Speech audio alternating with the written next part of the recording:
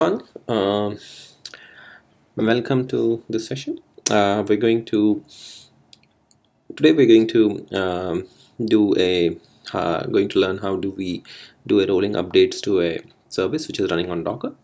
Uh, so in this example, what we're going to do is so we're going to um, uh, we're going to create a Redis service uh, using Docker service command line and uh, then we're going to list uh, what's running behind the scenes and also going to check out what processes how many containers are supporting that particular service. And also um, we're also going to uh, try to update the baseline image uh, for that particular redis uh, server. And then we're going to see how that uh, image is getting uh, updated uh, uh, in, a, in, a, rolling uh, fashion. What that means is um, nowadays we have this culture of um, or the idea of having rolling updates. The idea behind rolling updates is trying to test out a couple of uh, some sample set of um, um, infrastructure or certain percentage of infrastructure uh, first and once that feature and or that particular update has been successfully tested uh, by the beta users uh, we'll go uh, full swing uh, with the uh, the rest of the infrastructure.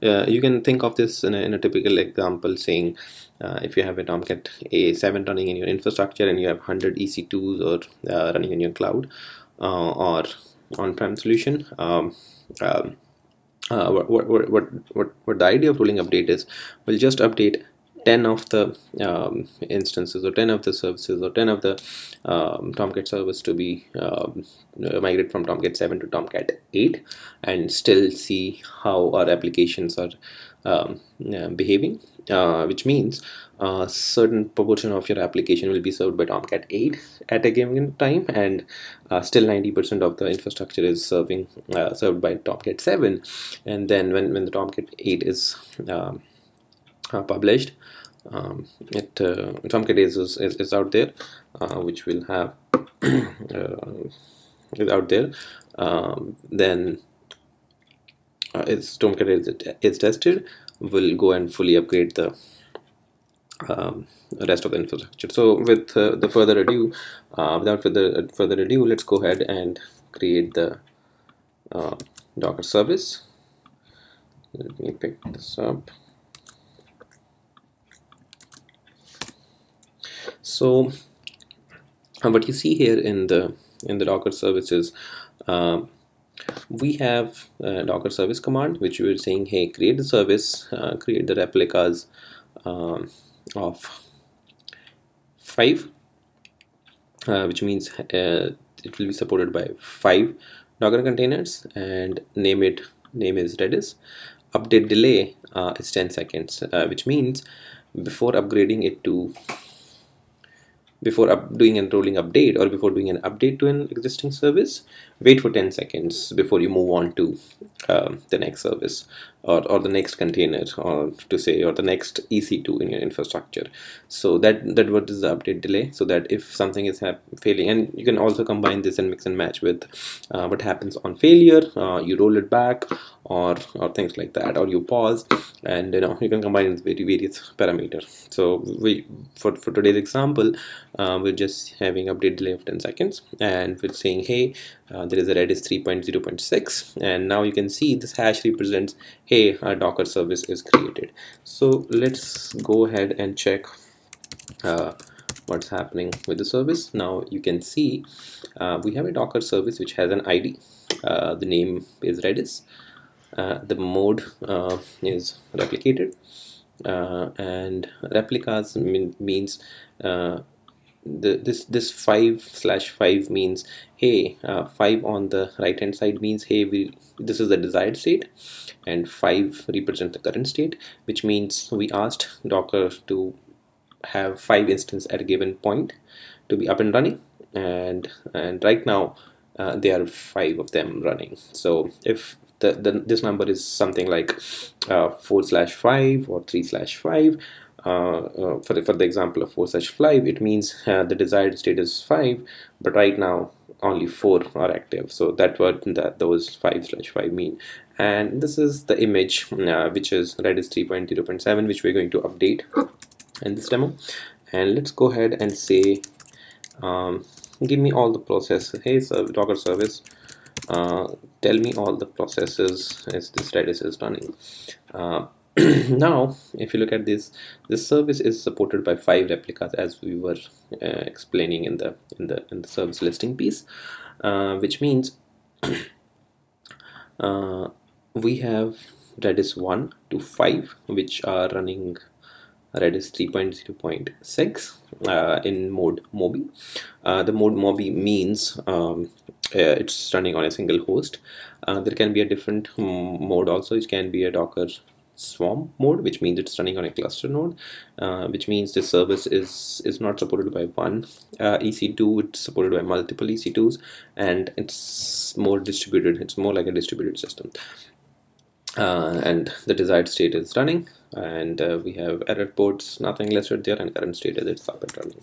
So what we're going to do here is uh, so right now we have a uh, we have the five nodes running. So what we're going to do is we're going to go and update the, the redis image um, to be um, 3.0.7 and then we're going to say hey docker service update the image to 3.0.6 now you can see here clearly we're running 3.0.6 6 here right? So update this image to 3.3.6 so once you say update so it will represent let it come back um, so now it has said redis it means it's success message. Now if you start looking at the processes running so you see uh, this uh, little arrow right here which means the first container which was supporting the service is shutting down and which was representing 3.0.6 and and Redis one is supported by 3.0.7 now which is running. So it has started uh, doing rolling updates. Now as we mentioned in our service here we have an update delay of 10 seconds which means uh, it will wait for some time before moving on to another pieces. So if you look at this now redis 1 2 3 all the pieces represent 3.6 and 3.6 and 3.06 which means all the containers supporting this service were are shutting down and there are new service new containers trying to support the same service but in a rolling update fashion. So our service was never down. Our service was always up and running. Uh, so this is the idea behind rolling updates. So let's go ahead and do uh, try to see um, scale this service. Uh, now imagine I have uh, huge traffic coming to this service and I want this service to be scaled to um, okay 50 containers with the service. Service scale to 50 so if you say docker service ls hey now as I said there are 50 which is the desired state but right now we have moved from 5 to 8 of them. So if you, if you keep looking so now uh, we have 50 of them available right now which was 8 a uh, couple of seconds before. Um, so now let's see what's happening here on the um, on the processes Redis level oh my goodness. So we have we saw these five um, Redis containers with a rolling update and now we have 50 of the Redis containers trying to support that service. And it, this is one of the very good um, uh, scaling issue. This this can solve a lot of scaling issues uh, in in a lot of enterprise and a lot of organizations. And the the idea behind it and and bear in mind that this is just a single host uh, uh, where it is running uh, and this is how much compute density we are achieving by running docker services or docker containers uh, into one process. And imagine those days when you were having to run um, virtual machines and spinning up 50 virtual machines at a given single time in any of your of your single host is a nightmare. We all know that the system will never survive after that or, or probably you know go or crash it. Uh, so uh, so that's the idea um, here uh, overall. Um, but I think uh, with with containers we can achieve a lot of compute density uh, so so that that's a, that's a pretty good uh, demo of uh, uh Docker service and how do we can scale uh, services um, on the fly. Another point I want to mention here is if we if we put this in a container in a, in, a, clustering solution, yeah, being it ECS, Kubernetes, um, mesos or there is a HashiCorp Nomad also coming up. Uh, we can achieve a lot uh, with the with the containers and a lot of things in the continuous delivery domain. If you combine Jenkins and ECS and CloudFormation uh, AWS uh, CloudFormation with that. So with that I think I would like to wrap up. Um, before we go uh, let's uh, and one more thing I just wanted to say is we can also scale it down to 5 back again. And if we look here back back on uh, five services. So it has randomly selected three containers five four containers and uh, five containers to support the service. Uh, uh let's go ahead and remove the service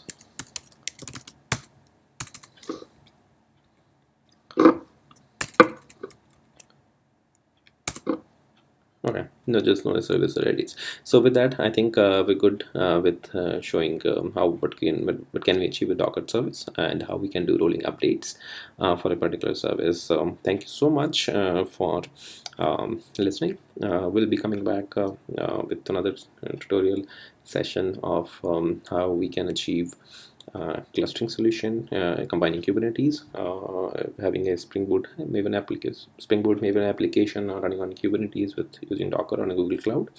Um, stay tuned for that, and uh, thank you so much uh, for listening.